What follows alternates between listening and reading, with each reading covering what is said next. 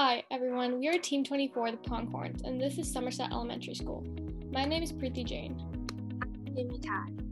I'm Clarabelle Road. And I'm Parker McCabe. Somerset Elementary School strives to build a safe, friendly, and diverse environment where students engage in fun, creative, and innovative learning while connecting with their community and the outdoors.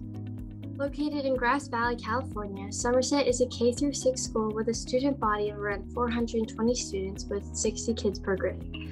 The teacher student ratio is 1 to 15 with one main teacher and one assistant teacher per class.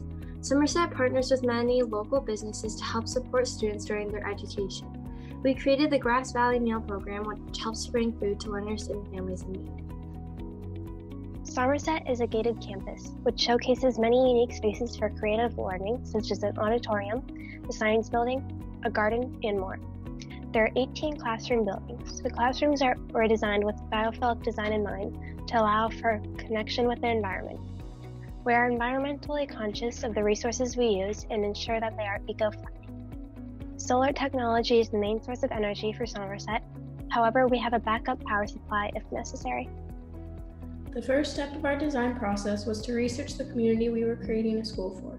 We learned about the needs of the community and children and brainstormed ideas that could benefit them both. The physical environment was also an important factor in deciding what structures and designs we would incorporate. Additionally, we looked at pre existing information about Grass Valley Charter School, which is currently in place, to gain an understanding of the school at large. After all of our research, we decided that our school would mainly focus on a connection to nature and the environment. Once we found this focus, we built classes and created new aspects of the school to connect to that mission. We wanted the learning environment for our school to be centered around the outdoors, connecting the students with nature. The interior and exterior of our design is based on biophilic design, an approach to architecture that seeks to connect the people in the building more closely with nature. While focusing on biophilic design, we hope that the different components create a more productive and healthy learning environment for the students. Thank you.